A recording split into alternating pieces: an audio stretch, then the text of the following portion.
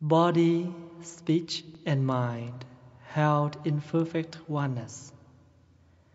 I send my heart along with the sound of the bell. May the hearers awaken from forgetfulness and transcend all anxiety and sorrow. ba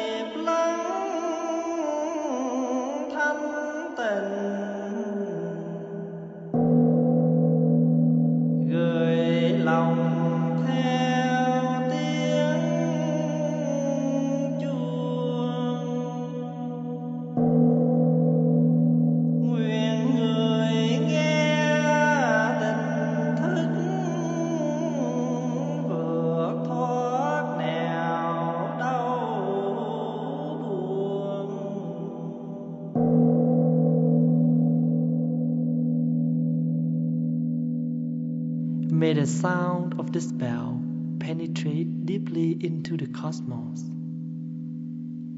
In even the darkest spots, may living beings hear it clearly, so the suffering will ease, understanding arise in their hearts, and they can transcend the path of anxiety and sorrow. nguyện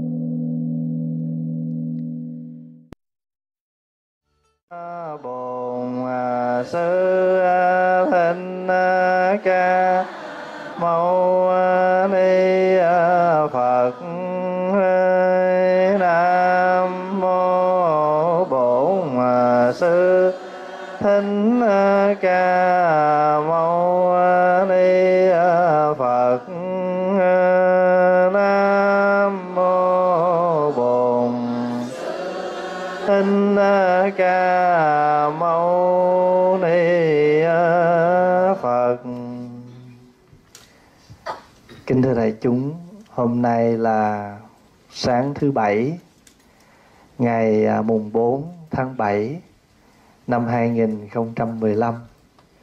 Chúng ta đang ở tại thiền đường Mây Từ, thành phố Westminster, California, Hoa Kỳ. Và đây là ngày thứ hai của ngày tu học. Chúng ta đã gặp nhau vào lúc 6 giờ sáng để bắt đầu tụng kinh Pháp Hoa. Sau đó chúng ta điểm tâm, đi thiền hành, chụp hình, chen lấn rồi đi về. Đại chúng có khỏe không? Happy Independence Day.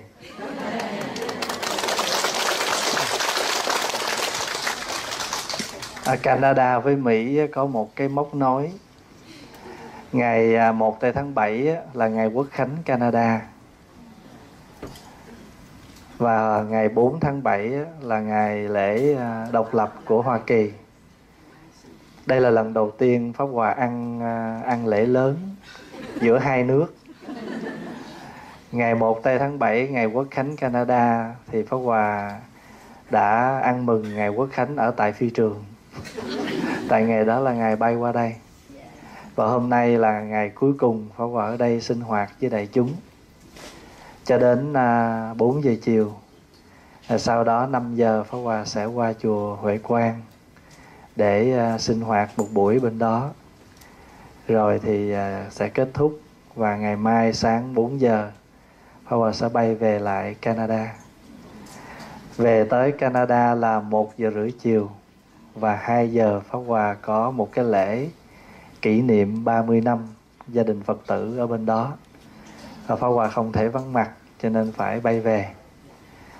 Hôm nay Pháp Hòa được à, gặp tất cả quý vị một lần nữa để à, chúng ta cùng sinh hoạt Phật Pháp.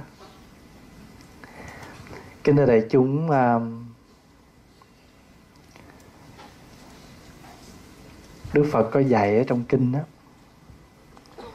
chúng ta hãy nên quán chiếu để thấy những cái điều kiện tốt đẹp mà chúng ta cần phải nỗ lực tiến tu. Thí dụ như đức phật dạy là nếu mình kiểm lại, mình thấy mình còn trẻ, thì phải ráng tu, tại vì để già khó tu. Mà nếu mà mình nhìn lại, mình thấy mình già mà chưa chịu tu, thì mai mốt không biết đường đi đâu già mà không tu thì không kịp. Trẻ mà không tu, đợi già tu thì không nhớ gì hết. Đó là đức phật dạy, hễ còn trẻ, còn thanh xuân thì phải tu. Cho nên thấy những người trẻ mà đi tu á, thì đừng có nghĩ người ta chán đời, thất tình. Không? Đời tôi đi tu nên tôi đâu có cô đơn. Vì không cô đơn, nên tôi đây mới tu hoài. Đừng cho tôi tu, vì chán đời đắng cay. Hay thất tình bao lần nên vào chùa để ẩn tu. Quý vị hiểu bài đó không?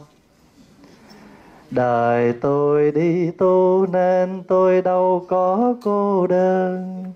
Vì không cô đơn nên tôi đây mới tu hoài đừng cho tôi tu vi chán đời đắng cay. Hay thất tình bao lần nên vào chùa để ân tu. Đời tôi đi tu nên tôi đây lắm an vui. Thầy cùng để huynh chung nhau xây ánh đào vàng. Vì tôi biết tu nên tôi đâu còn trách ai tôi đâu còn dần hoài vì biết đời luôn đổi thay?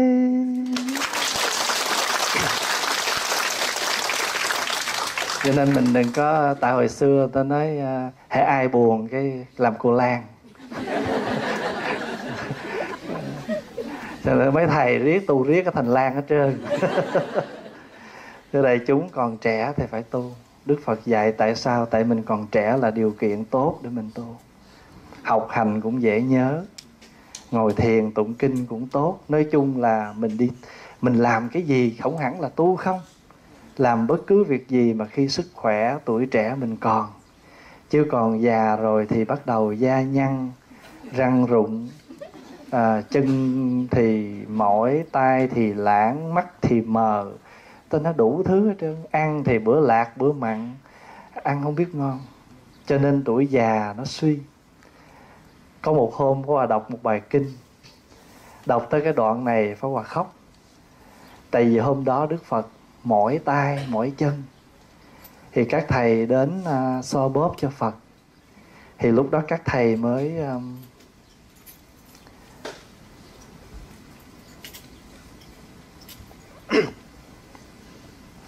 so bóp xong thì um, thấy da của phật nhăn. Các thầy nói bạch đức thế tôn da của thế tôn bữa nay nhăn quá. Thì đức phật dạy liền một bài kinh rất là hay. Này các thầy, cái bệnh là cái tánh của tuổi trẻ. Cái chết là cái tánh của tuổi già. Tức là ngay cái người già thì mình thấy được cái bản chất chết sắp tới. Ngay nơi người khỏe thì mình thấy được cái bản chất của đau bệnh cho nên mình đọc tới đó thì tự nhiên mình cảm xúc. Và khi mà các thầy um, quý vị nào mà đi ấn độ à, đi đến chỗ phật niết bàn á, chỉ cần vừa bước vào đó thôi, thì nước mắt mình sẽ tự rơi xuống.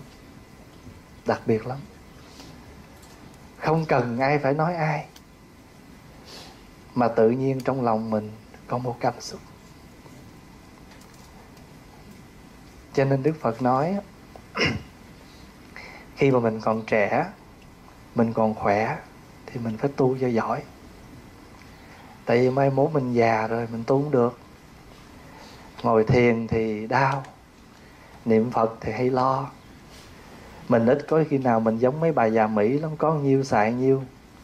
Mình có, mình không dám xài, mình để dành cho con cháu nhét chỗ này, nhét chỗ kia. Tối hồi sắp chết chỉ không đủ chỗ.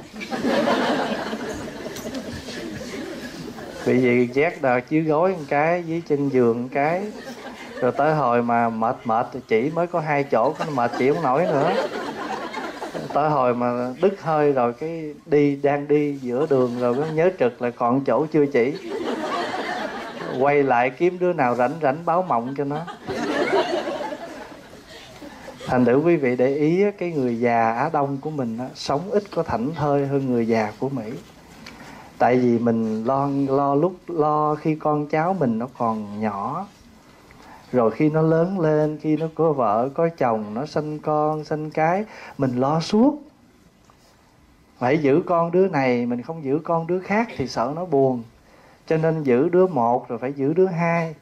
Cái đứa dịnh giường đứa dịnh dáng đứa biết trường đứa biết lật cứ suốt đời giữ cháu. Đứa dịnh giường, đứa dịnh dáng, đứa biết trường, đứa biết lật.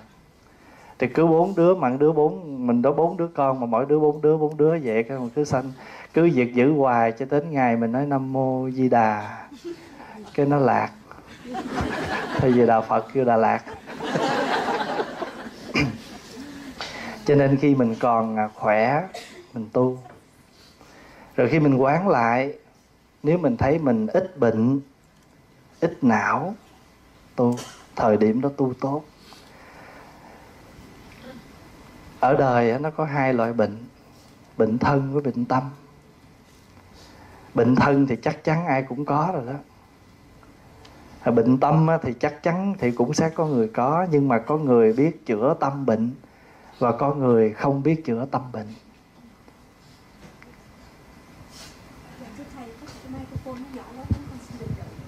Hay là cầm hai cái? Con thử chạy xuống vậy coi. Nguyện đem lòng thành kính. Gửi một lúc hai cái micro. Giờ ra rõ chưa? À. dạ. À. khi mình còn trẻ còn thanh xuân tu. Khi mình ít bệnh, ít não, nhiều khi thân mình bệnh, nhưng mà tâm mình khỏe cũng là một cái tốt để mình tu. Cho nên có một bài kệ thăm bệnh, Pháp Hòa hãy đọc cho đại chúng nghe hoài đó. Nếu thấy người bệnh, cầu cho chúng sanh. Biết thân là giả, lìa sự tranh chấp. Sở dĩ chúng ta cứ gây gỗ tranh chấp là đôi lúc có một giây phút nào đó mình quên là mình đang già, đang bệnh và sắp chết. Rồi người kia cũng đang già, đang bệnh và sắp chết, cho nên cứ gây. Mà đặc biệt là vợ chồng già. Chuyện mùi mẫn hết nói giờ kiếm chuyện gây không à? Nhiều khi mấy đứa nhỏ nó về thăm má má cho con im chút được không? Ba má cứ gây hoài. Nói chứ mày coi đó ổng làm tao tức muốn chết nhưng mà tao nói thiệt tao muốn chết thôi chứ tao chưa chịu chết. Khi nào bực quá thì muốn chết thôi. Cho nên nhiều khi tuổi già rồi không còn chuyện gì để nói là cứ gây. Mà tại vì quý vị biết không già rồi thì nó sẽ có một cái nó đi theo cái già là cái tật. Lớn tuổi nào tật nhiều mấy? Mà mỗi người mỗi tật.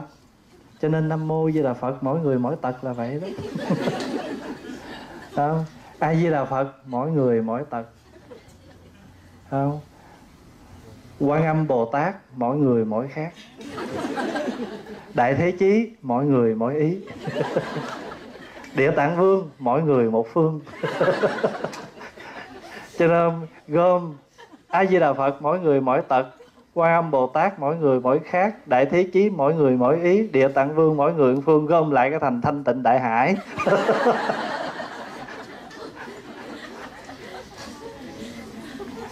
Nhiều khi mình phải nghĩ mấy cái vui vui vậy cái mình tu hoài. Nhiều lúc pháp hòa ngồi buồn buồn và hay suy nghĩ làm bậy bạ vậy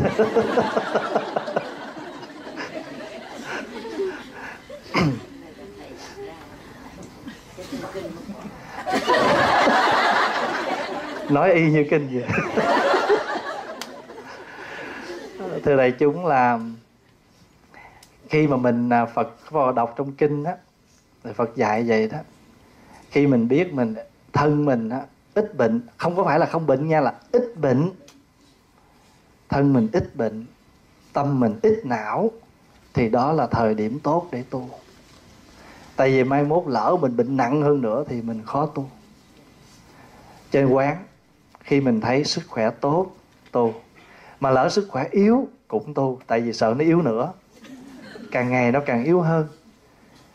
Rồi mình quán nữa là gì? Thân thể mình điều hòa. Tức là mình không có bị nóng lạnh, không có bị sốt.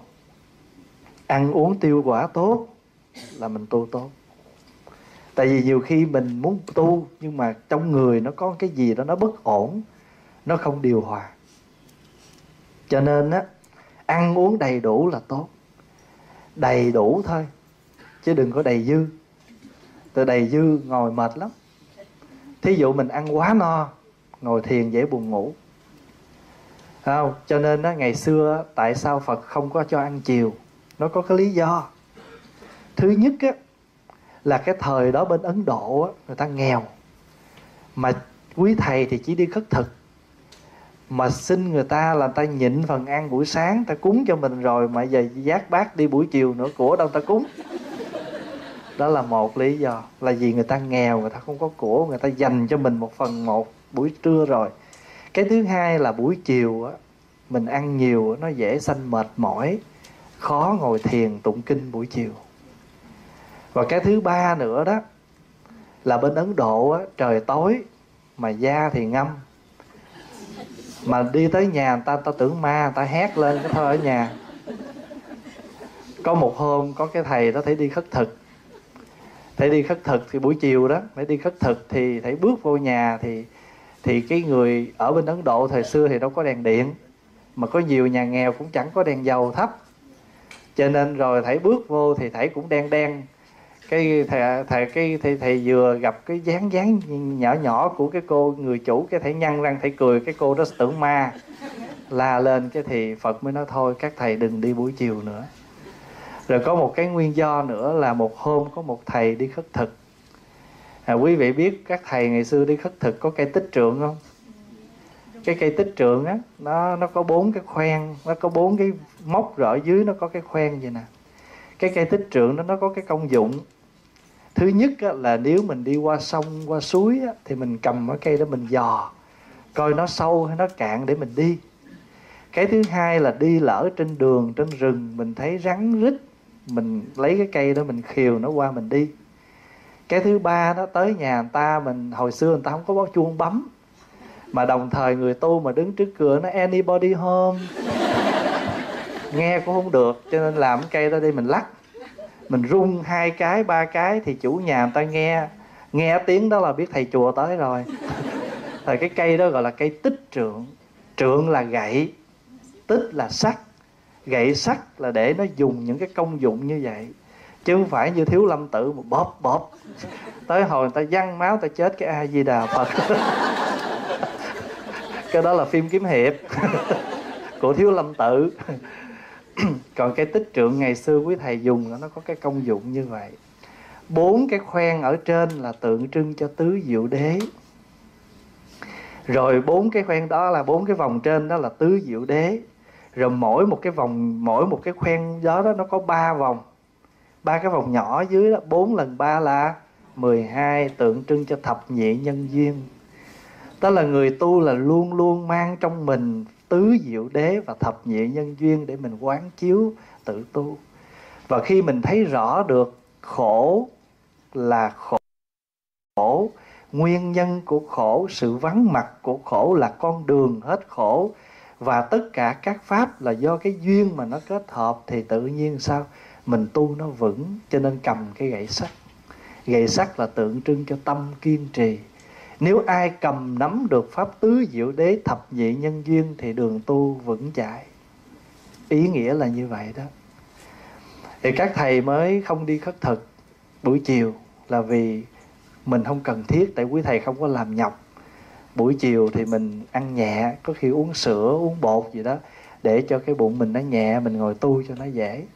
Đại chúng để ý sau một ngày làm việc mệt, về mình ăn, mình đói bụng, mình ăn hơi no. Mà thường ăn no xong cái bắt đầu mình muốn làm cái gì? Đâu có ngủ, đi nằm. Nằm trước mới ngủ sao? Nằm mình coi tivi. Còn điều mà dễ thương nữa, để tôi mở băng thầy tôi nghe thuyết pháp. Đó chạy tội đó. Nhưng mà vừa mở lên, cái thầy nói, kính thưa đại chúng, hôm nay là ngày chưa hết cái khò khò hôm nay là ngày khò có nhiều phật tử dễ thương lắm. Chạy tới, con rất là cảm ơn thầy, tại từ ngày con biết thầy tới giờ con hết uống thuốc ngủ. Tại con mở thầy băng thầy lên, cái thầy nói nửa chừng cho con ngủ.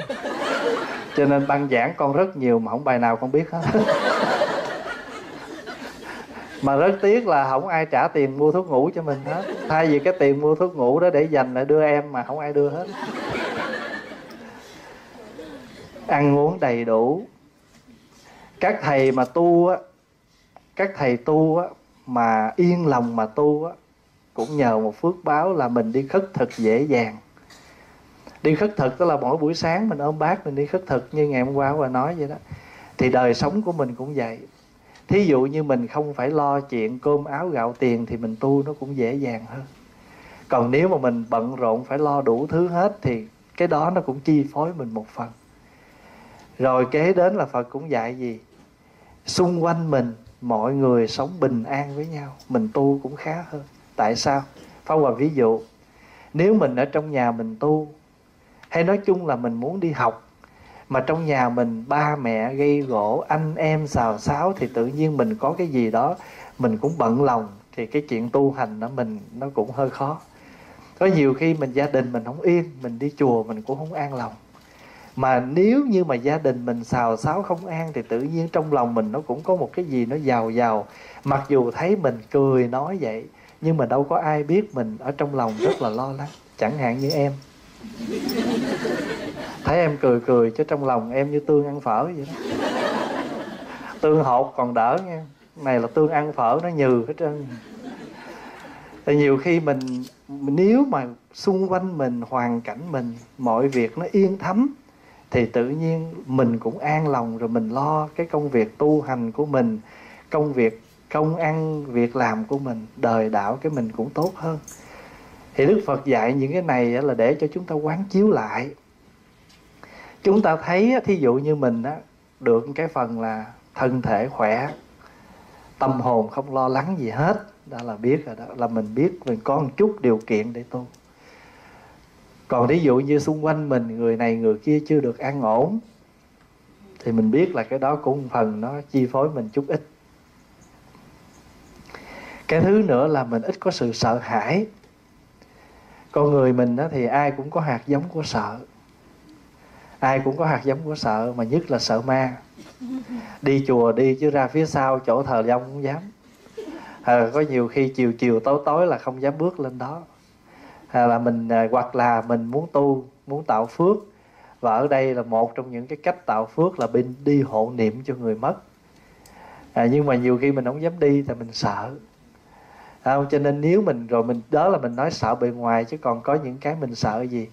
À, mình sợ ăn chay sợ tụng kinh sợ nghe pháp. Có nhiều người sợ tụng kinh lắm. Tới chùa làm công quả làm cho biểu lên tụng kinh không dám. Tại vì lên tụng thứ nhất là không hiểu thứ hai dễ buồn ngủ. Có nhiều vị à, à, vô tụng kinh là buồn ngủ ngáp. Rồi cái gì nữa? Khi mà mình mọi việc mình sống mình có hòa hợp mình có sự hòa hợp. Thí dụ như trong một cái chùa ai sống cũng hài hòa với nhau thì mình tu mình vui không? Tu vui.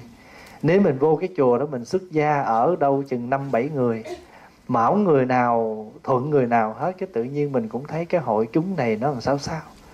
Cho nên nếu mà mình có được một cái phước, mình sống ở trong chúng mà chúng hài hòa, mình cũng vui.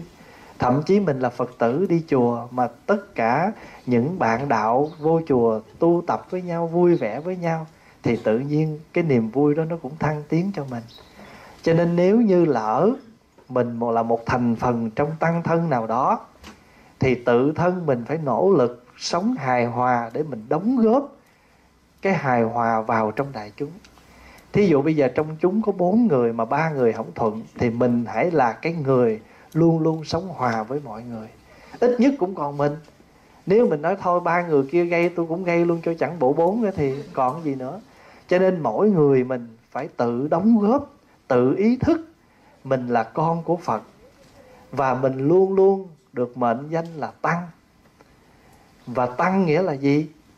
Tăng nói gọn là tăng, nói đủ là tăng già. Phát âm từ chữ săng ga chữ săng ga và mình âm là tăng già. Mà chữ tăng già dịch nghĩa là thanh tịnh hòa hợp. Đó, nếu mà một nhóm một thành phần của tăng thì phải đủ hai yếu tố, đó là thanh tịnh và hòa hợp. Thí dụ mình sống, mình không phạm giới là mình thanh tịnh.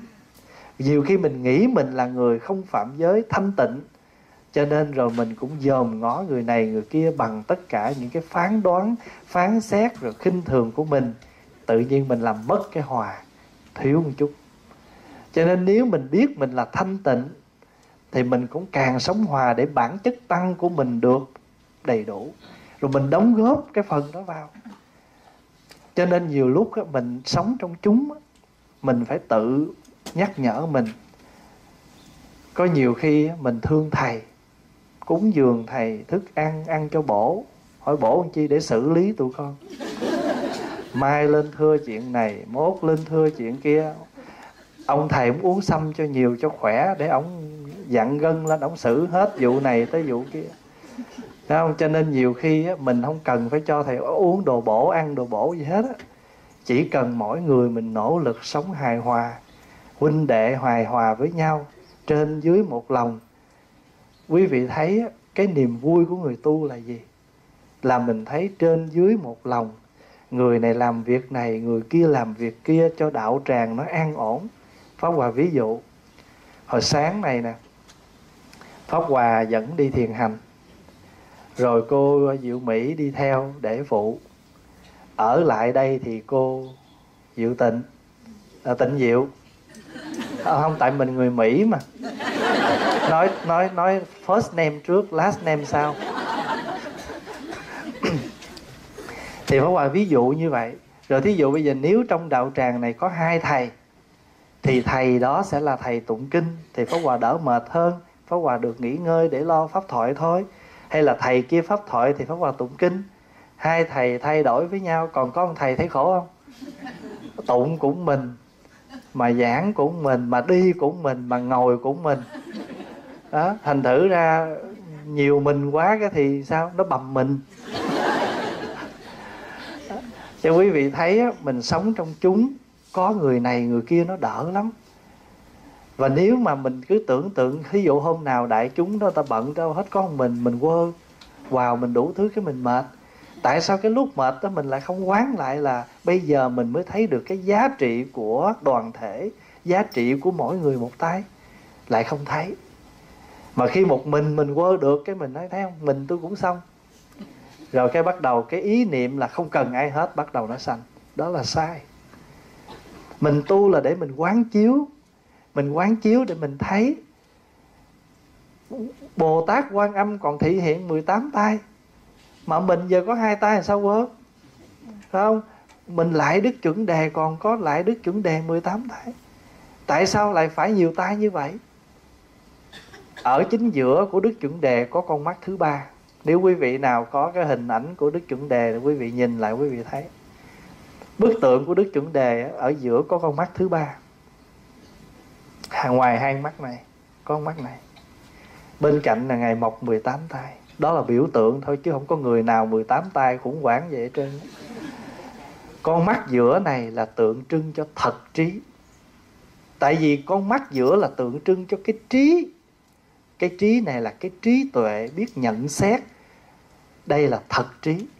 Còn 18 cánh tay tượng trưng cho quyền thừa. Quyền thừa là gì? Tức là những cánh tay của phương tiện, của quyền xảo, của khéo léo, một cách nâng nâng đỡ một cách khéo léo, do cái thật trí này nó điều khiển. Tức là bây giờ mình ví dụ vậy nè, mình có một cái nhìn sâu sắc về đại chúng, cho nên mình thấy mình nhận ra được mỗi người có một cái hay. Và bây giờ mình sẽ ứng dụng bằng cách là mình nhờ mỗi người một tay chỉ cần mình có con mắt thật trí, trong vòng một giờ đồng hồ mình có tất cả. Thí dụ bây giờ pháo hòa đột xuất pháo hòa có khách 10 người ăn cơm. Một mình pháo hòa nấu không đủ. Thì pháo hòa gọi cô đó, cô ơi, cô cho xin nồi canh. Thì với cô đó nấu canh ngon. Cô ơi, cô cho pháo hòa xin miếng đồ kho, vì cô kho ngon. Mình chỉ cần dùng cái thật trí, thì lát quyền thừa tức là mình khéo léo, mình ứng dụng, thì tự nhiên mình không cần phải làm gì nhiều, mà mình có đầy đủ.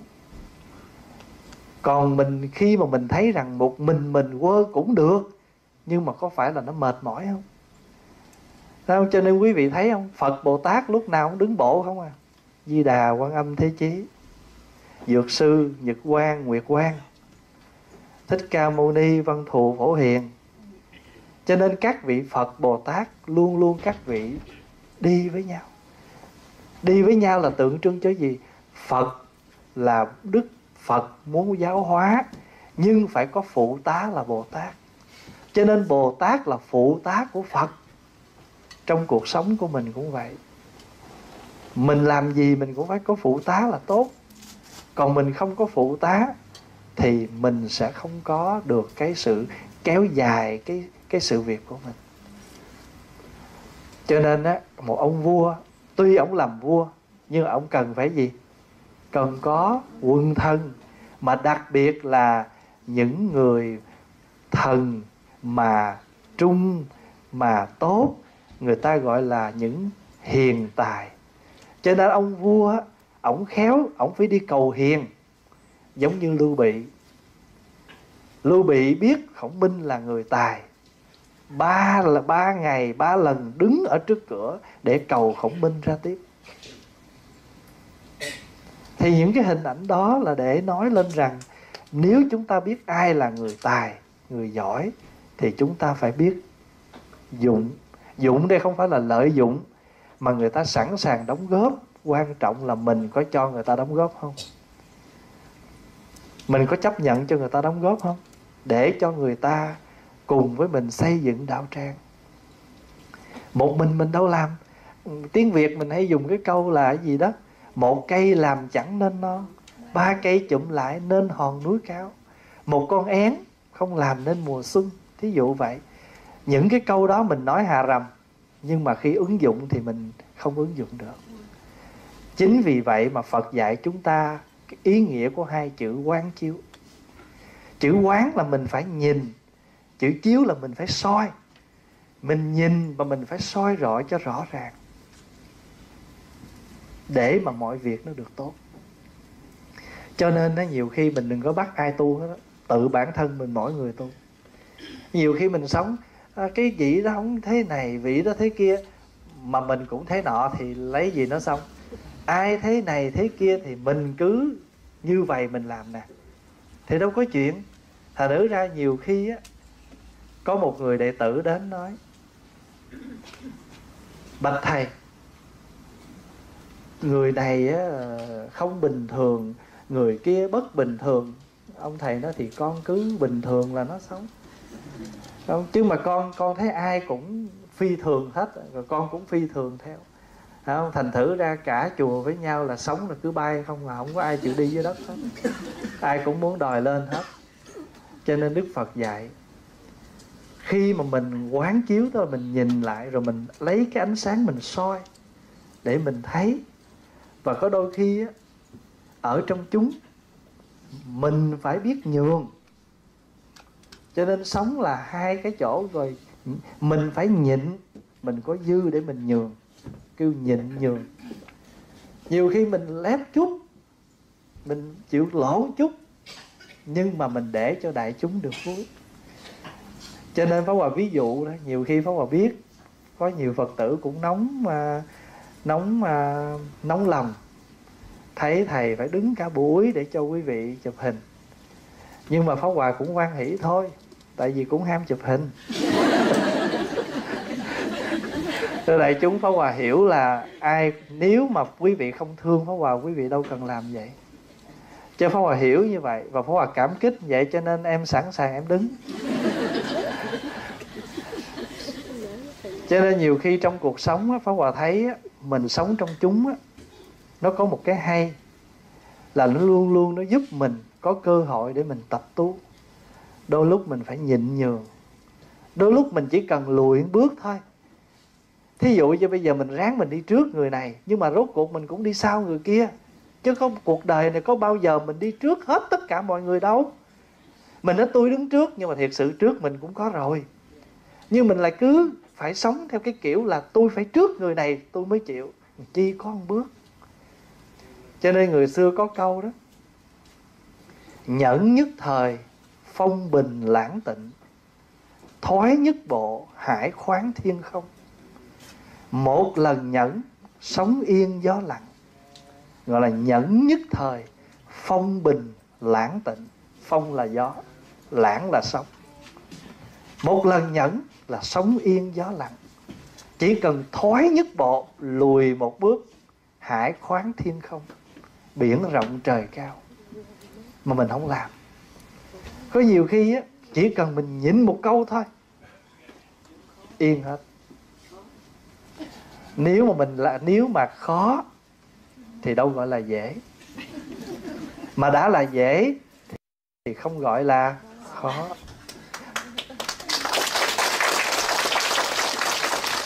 Mà cái khó mà mình làm được thì gọi là tu. Chứ nếu mà cái dễ ai cũng làm được thì không có gì để nói. Cái khó mà mình làm được hoặc mình hôm qua mình học ở trên chùa Phật tổ, nếu người muốn tinh tấn thì phải nỗ lực. Bởi vì tinh tấn là siêng năng, nhưng anh không có nỗ lực thì cái tinh tấn không có mặt được. Phải nỗ lực. Ví dụ như hôm nay mình cũng muốn đi nghe pháp. Nhưng mà sáng ra thì chân nó cũng hơi đau. Tối hôm qua ngủ nó cũng hơi thiếu. Rồi mình cũng suy nghĩ, vô đó ngồi cũng vậy thôi.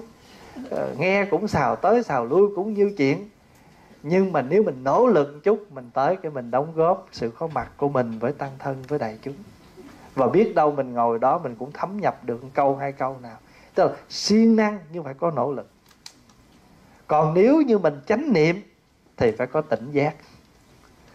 Chánh niệm tức là mình sống, mình luôn luôn biết mình đang làm cái gì, nhưng mà mình phải biết rằng việc đó nó có phù hợp không? Thí dụ nè, nói tôi là mẹ nó nó nói tôi vậy tôi không được biết mình chánh niệm, mình biết mình là mẹ nó, nhưng mà nó không có chánh niệm, nó biết mình là, nó là con mình. Thì bây giờ mình phải tỉnh giác là mình nói lúc này có đúng lúc không? Mình chánh niệm, mình biết mình là mẹ, nhưng mình phải tỉnh giác hơn con mình. Nó không có tỉnh giác cho nên nó mới nạt mình một câu giữa công chúng nè.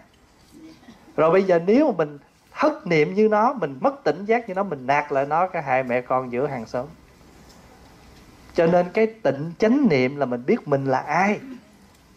Và mình phải tỉnh giác là biết lúc nào mình nói và lúc nào mình phải nín nhiều lúc mình nín lúc đó cho nó qua việc. Rồi hôm nào yên thấm rồi mình nói sao? Tới có những lúc đâu phải chỗ để mình nói. Pháp Hòa xin lỗi đại chúng là ở Việt Nam mình rất là hay. Hai vợ chồng đang gây vậy đó nha. Mà khách tới cái cái cười nhăn răng. Em, đi lấy nước mời khách, em. Đó, vậy đó. Nhưng mà thật sự cái đó không phải là mình giả bộ. Nhưng mà mình biết tiếp khách cho nên chánh niệm là vậy đó. Mình biết mình đang giận, nhưng mình phải có tỉnh giác là giận ai? Đâu có phải giận con cá mà chém cái thớt. Mà phần nhiều là mình chánh niệm, tôi đang giận. Nhưng mà cầm dao không nhá cái người mà chọc mình giận mà nhá cái người khác. Tại cái người không chọc mình cho nên mình biết họ không có nóng. Cái người mà chọc giận mình là họ đang nóng không dám đụng. Quý vị thấy như vậy. Cho nên mình, phật dùng những cái từ rất là hay tinh tấn thì nỗ lực, chánh niệm thì tỉnh giác. Như nay phong qua ví dụ vậy đó, có nhiều người lợi dụng từ ngữ lắm. phật nói mình ăn gì mình phải biết mình ăn, uống mình phải biết mình uống. Cho nên con uống rượu cái con biết con uống rượu nè. Cái này cái là chánh niệm chứ gì? Ăn thịt biết ăn thịt nè. Hút thuốc biết hút thuốc là chánh niệm gì? Nhưng mà không có tỉnh giác anh hút mà, anh biết anh hút mà, anh không có tỉnh giác rằng hút thuốc này có lợi cho sức khỏe không? Cái đó gọi là tỉnh giác đó. Uống rượu này có lợi cho sức khỏe không? Cho nên chánh niệm thì phải tỉnh giác. Tinh tấn thì phải nỗ lực. Tại vì tinh tấn, tại sao mình phải tinh tấn? Tại vì mình tin tưởng rõ ràng cái việc đó nó tốt, cho nên mình mới siêng lên, đi lên. Chữ tấn là mình đi lên. Chữ tin là tinh vi tin tường mình đã tin tưởng sự việc đó cho nên mình mới siêng năng. Nhưng cái siêng năng này nó cũng tùy lúc lắm. Tại vì nhiều lúc đó, thân mà thân mà khỏe là gì cũng được. Hôm nào mà thân mệt thì giải đãi nó sanh.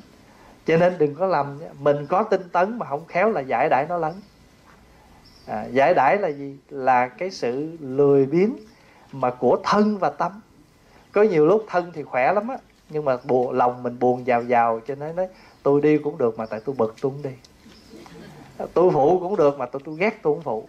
Đó, thân khỏe, nhưng mà nhiều khi cái tâm nó không khỏe. Cho nên cái tâm nó khiển cái thân. Cho nhiều khi mình nói, trời ơi, tôi dư sức đó mà tôi thấy ghét tôi không phụ. Có không? Đó, cho nên nhiều khi cái thân mình làm được, nhưng mà tâm mình không thèm làm.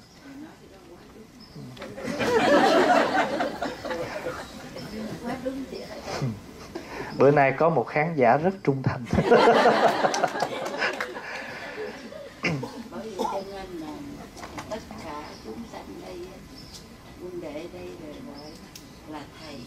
Con con không có đúng là ai gọi bà già này đi được thêm mệt nữa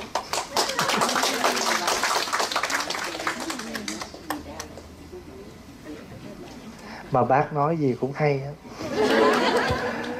thưa đại chúng à, bởi vì vậy đó cho nên đó, cái bộ kinh mình đang tụng đó là kinh pháp hoa.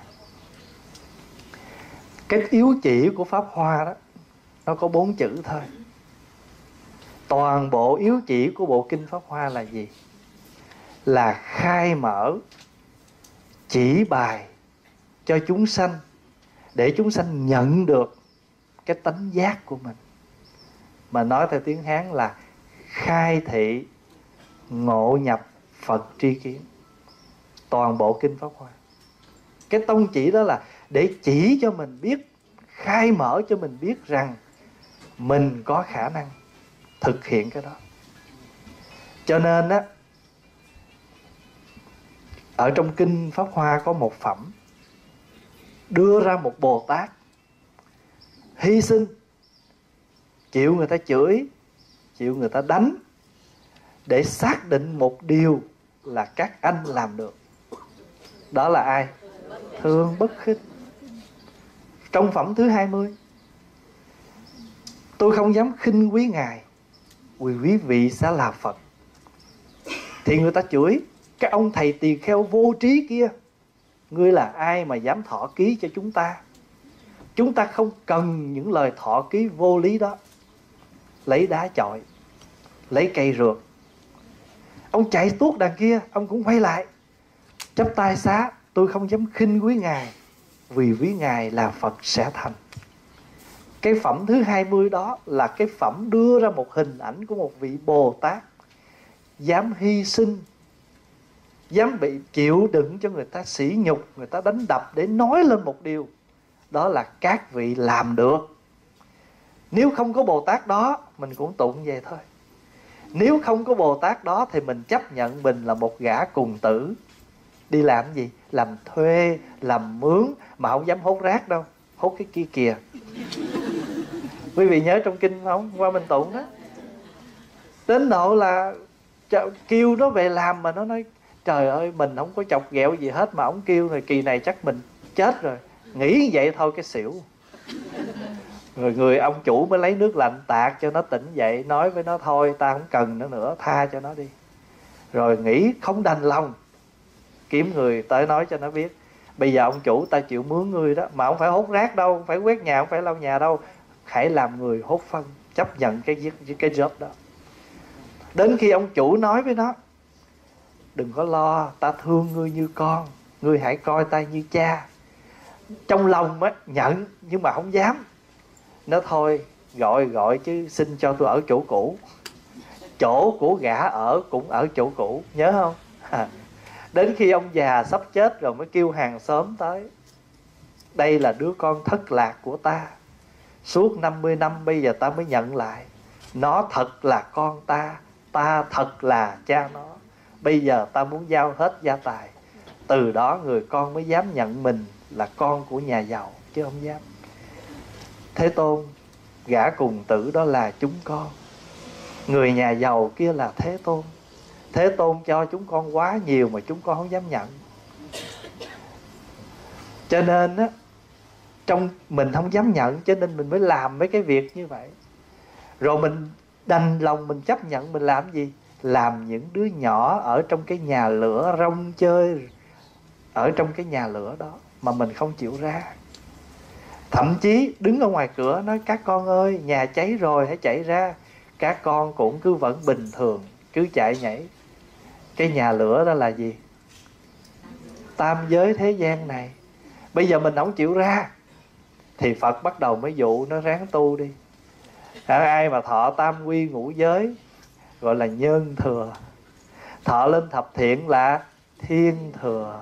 Thọ tù các giới là bồ tát thừa tu lục độ ba la mật là bồ tát thừa, cho đến khi nào thành phật. Xe dê, xe nai, xe trâu. Nghe có đồ chơi, chạy ra. Nhưng mà cha thì không nở lòng nào cho các con những đồ chơi dở mà cho cùng một loại xe. Mình bây giờ là có trung thừa, tiểu thừa và đại thừa, tiểu thừa, trung thừa, đại thừa. Và có một thừa kêu là đổ thừa à, mình tu mà mình hỏi sao không tu? Nó tại tôi bận cái này tại tôi tôi muốn lắm chứ mà tại tôi thấy ghét tôi không tới thì cũng có một thừa nữa đổ thừa.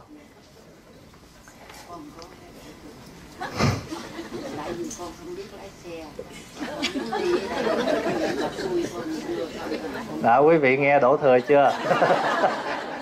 Giờ muốn đổ cái thừa đổ này là ráng hốt nha bác khi nào bác gọi, bác nói bác cần rước cái xe nào tới hốt giùm để bác không có đổ.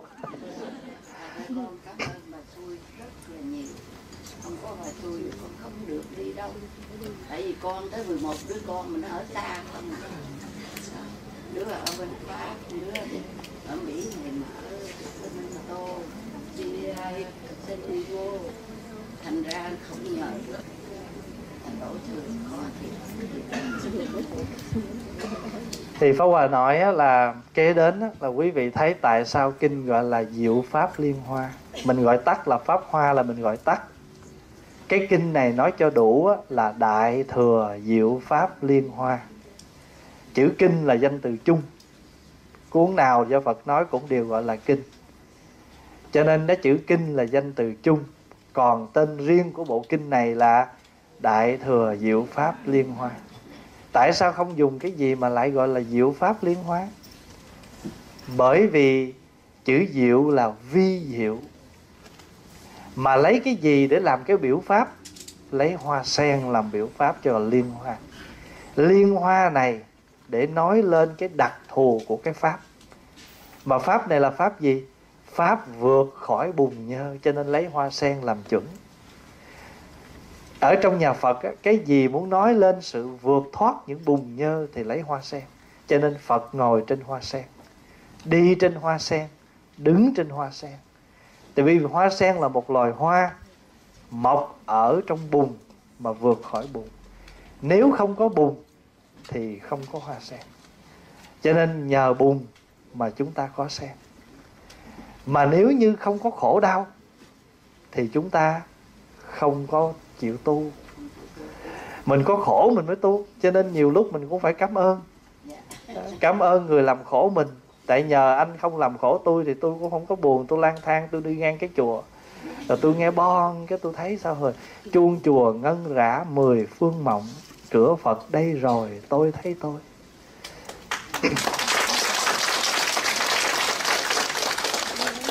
Cho nên ở trong kinh nó lấy cái tên của lấy cái hoa sen làm cái biểu pháp. Từ phẩm 1 là phẩm nhất là phẩm tựa đó, cho đến phẩm thứ 10 là phẩm pháp sư. Đó là phần khai. Rồi cái phần mà chỉ tức là thị, khai thì thế thị, khai là mở, thị là chỉ, là phẩm thứ 11 phẩm hiện bảo tháp.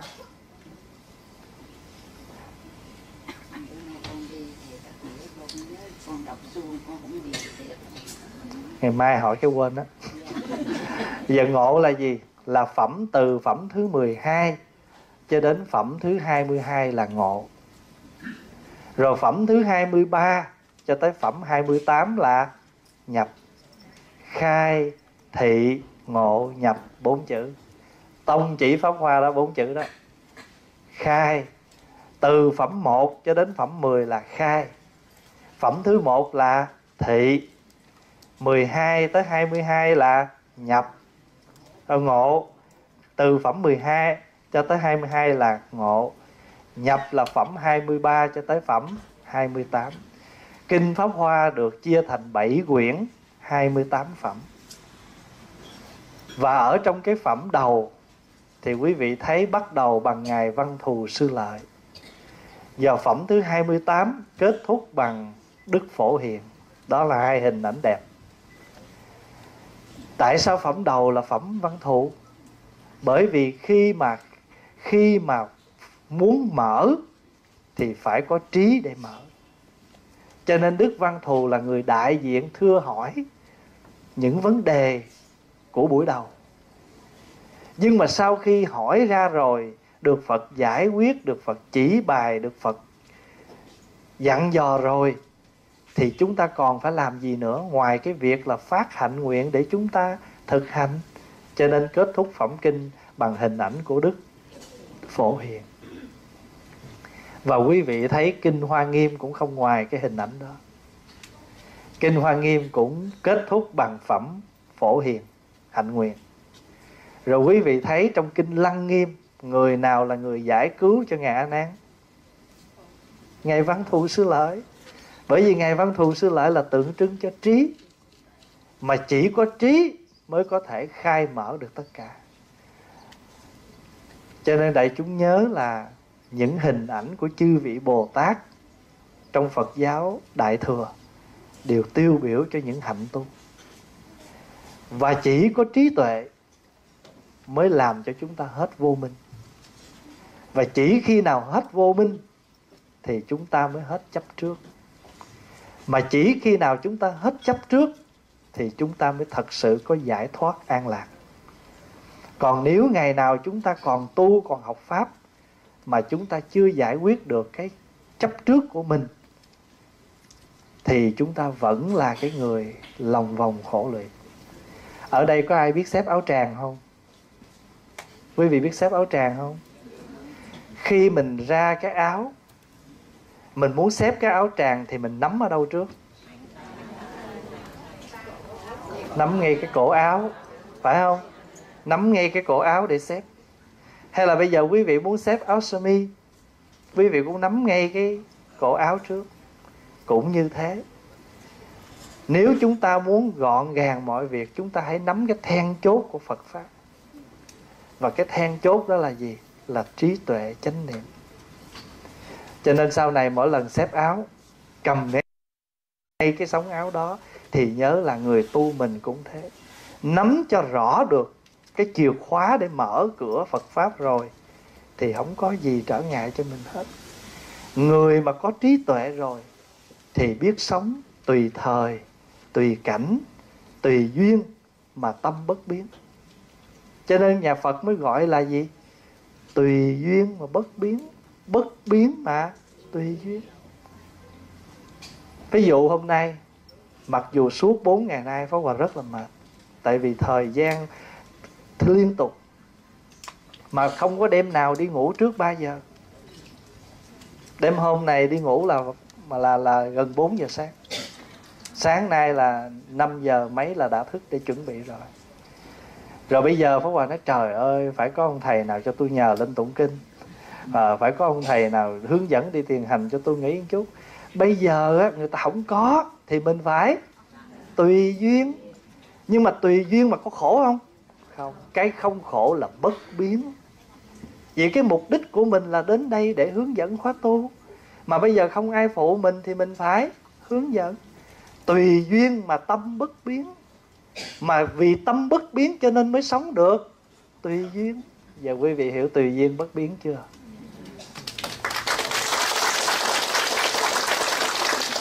cho nên nói tâm bất biến, giữa dòng đời vạn biến.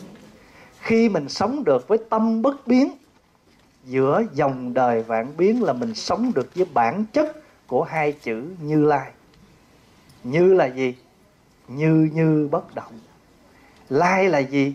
Mọi cảnh, mọi việc cứ ở trước mặt mình mà nó cứ chuyển biến, nhưng mà tâm mình bất động. Phá Hòa ví dụ nè Quý vị có biết rằng mình già mỗi ngày không? Biết Cái chuyện đó là chuyện sự thật. Mình không muốn Nó vẫn tới với mình.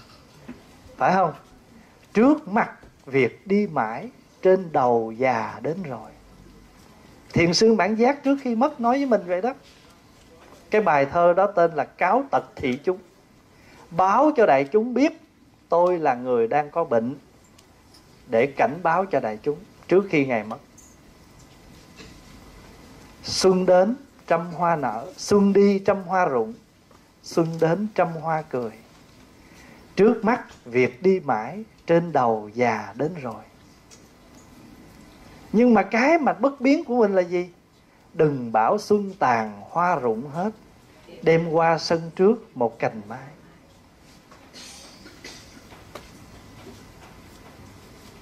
Xuân khứ bách hoa lạc, Xuân đáo bách hoa khai sự trục nhãn tiền quá Lão tùng đầu thượng khai. Mạc vị xuân tàn hoa lạc tận Đình tiền đạt dạ, tạc dạ nhất chi mai. Ngài Mãn Giác nói với mình Còn Ngài Vạn Hạnh nói gì với mình? Thân như điện ảnh hữu hoàng vô. Vạn mộc xuân vinh thu hữu khô. Nhậm vẫn thịnh suy vô bố ý. Vì sao? Vì thịnh suy như lộ thảo đầu phố. Thân như bóng chớp chiều tà, cỏ hoa tươi tốt thu hoa rụng rời. Xá chi suy thịnh sự đời, thịnh suy như giọt sương phơi đầu cành. Chính cái nghĩa đó, cho nên một năm mình cúng ba cái rằm. Rằm tháng giêng, rằm tháng 7 rằm tháng 10 rằm tháng giêng là thượng nguyên rằm tháng 7 là trung quân, rằm tháng 10 là đời người có tam quân không?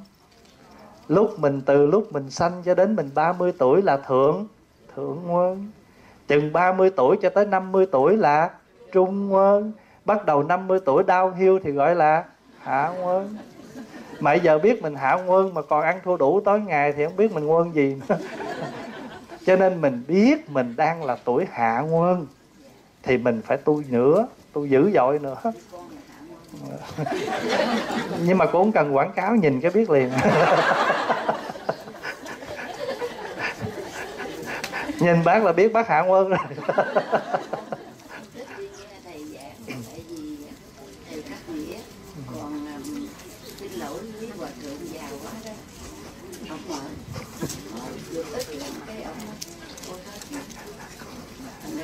ông già của ông mệt mà mình cũng già mà sao mình không mệt?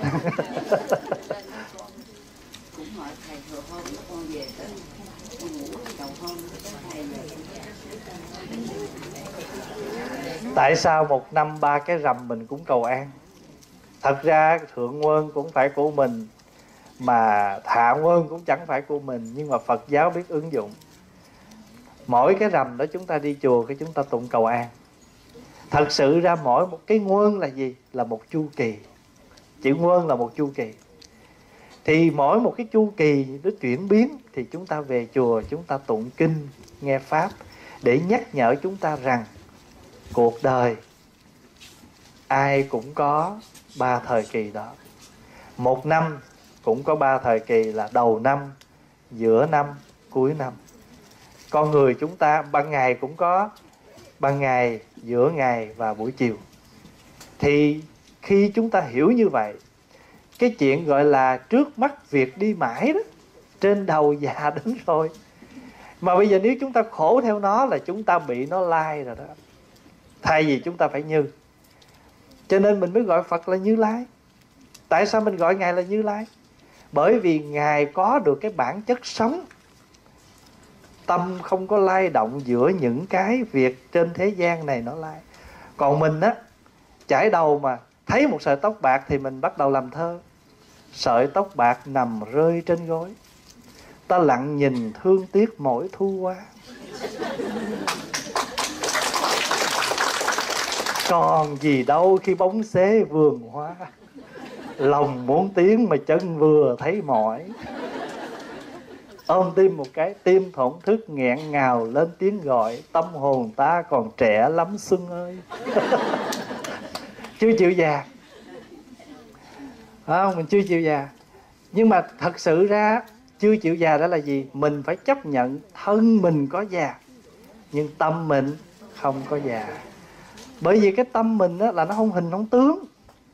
Cái niềm vui mình nó có hình có tướng, mà chính nó không hình không tướng cho nên nó bất sanh bất diệt bất cấu bất tịnh bất tăng bất giảm. Còn cái gì mà có tướng thì nó phải giảm phải tăng. Phải không? Cho nên phật dạy trong kinh làm sao? Phàm sở hữu tướng giai thị hư vọng. Phàm ở trên đời này cái gì có hình tướng đều là giả hết. Quý vị à, nhìn lại bản thân mình cũng như người thân xung quanh mình biết người đó hồi đó 20 tuổi, bây giờ mình với người đó cũng cũng già. Cho nên nhiều khi mình cũng ngộ, nuôi con, mong con lớn mà không muốn mình già. Con mình nó lớn thì cũng có nghĩa là mình già. Cho nên trước mặt việc đi mãi, trên đầu già đến rồi. Nhưng đừng bảo xuân tàn hoa rụng hết. Đừng có nghĩ rằng xuân tàn thì hoa nó rụng. Phải không? Nếu mà tâm chỉ cần mình sống an lạc mỗi ngày thì đêm qua sân trước một cành mai cái quan trọng không phải mình sống trăm năm, ngàn năm. Cái quan trọng là mình biết sống trọn một ngày. Đức phật nói trong kinh, người sống trăm năm không thấy lẽ đạo. Thua một người sống một ngày mà thấy lẽ đạo tại mình sống trăm năm mà sân si hờn giận, trách móc, than phiền, thì một trăm năm nó đau khổ lắm. Tại vì ngày nào mình vô cuồng cũng khổ. Cho nên bữa hôm qua cũng đọc câu thấy cũng hay. Nói cái buồn nào rồi cũng qua. Chỉ có cái buồn ngủ nó tới mỗi ngày.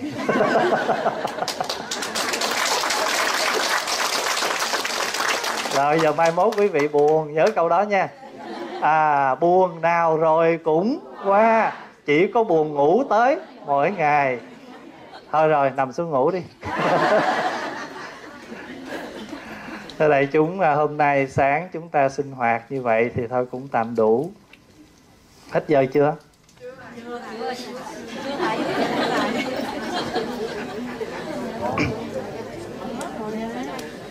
Thôi bây giờ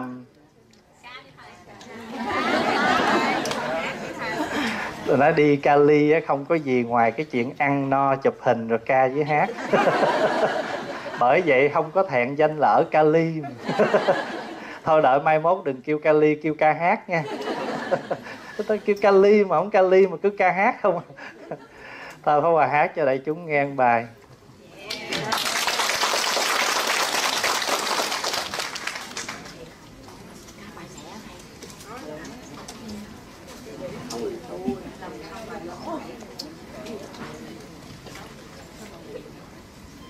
Thôi Pháp hòa hát cho quý vị nghe bài Xuân này, con không về.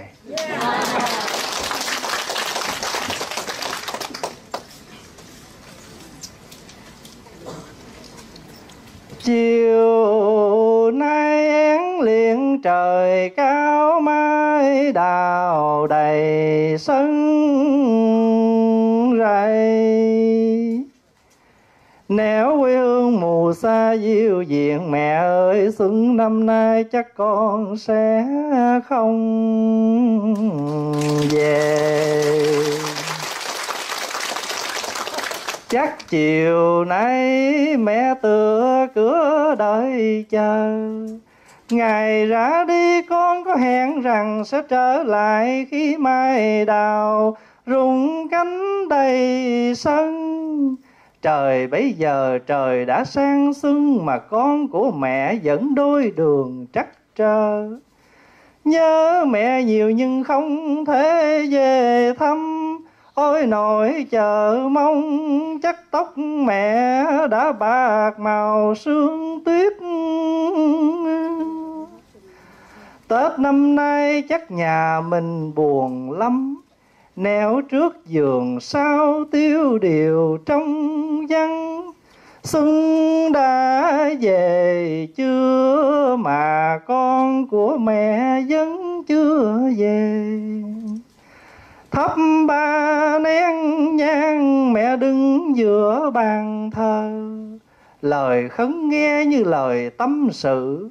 Ông ơi, tết đến rồi mà con nó cũng chẳng về thăm nhà còn một con gà không dám làm thịt để cúng ông.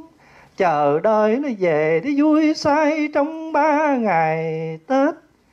Ngày phết bánh phòng, đêm canh giấc nồi bánh tét. Chờ đợi mỏi mòn mà con có về đâu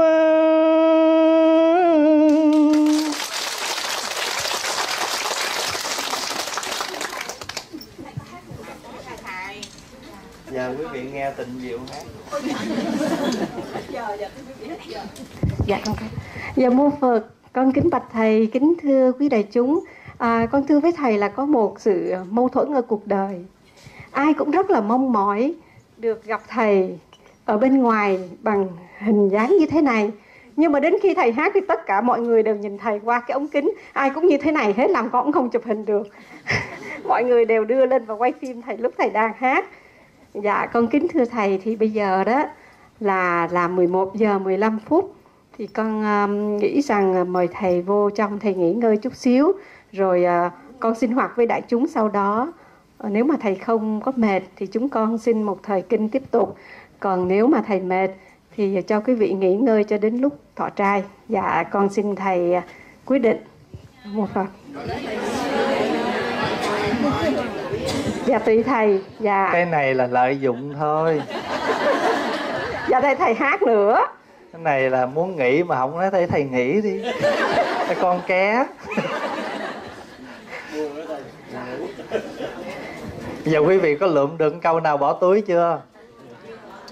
Sao chưa được? Buồn nào rồi cũng qua. Chỉ có buồn ngủ tới mỗi ngày mai mốt có buồn rồi lấy câu đó bỏ túi liền. Rồi nếu mà có khổ thì đọc câu gì biết không? Hôm qua mình học câu gì? So với cái mênh mông của vũ trụ thì nỗi buồn này chỉ là hạt cát có ra chi? Hôm qua lượm câu bỏ túi trái rồi, bữa nay lượm câu bỏ túi phải. Phật xin thầy đọc lại cái câu chuông chùa quan cả mười phương mộng, rồi câu kế chuông chùa ngân rã mười phương mộng. Chữ rã tức là nó nó nó, nó không phải rộn rã. Nó tan nát hết á. Chuông chùa ngân rã mười phương mộng. Cửa phật đây rồi tôi thấy tôi. Quý vị có biết cái bài đó không? Bon tiếng chuông quyền diệu đưa về nhất tâm. Nguyện tiếng chuông này gian đến mọi người. Xa xôi tâm tôi đường lối âm u. Nhưng ai phiêu bạc mau dừng lại chân bừng tỉnh giấc mê.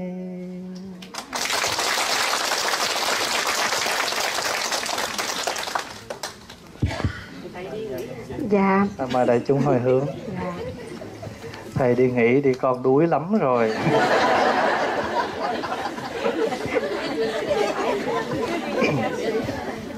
Mời đại chúng hồi hướng. Chúng à, sanh à, vô biên à, thể nguyện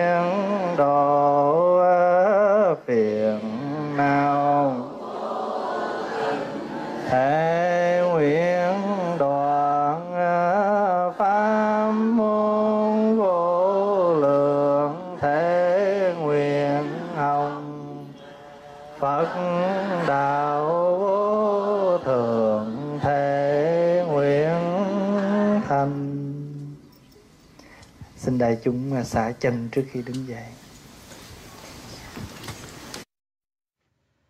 Body, speech, and mind held in perfect oneness.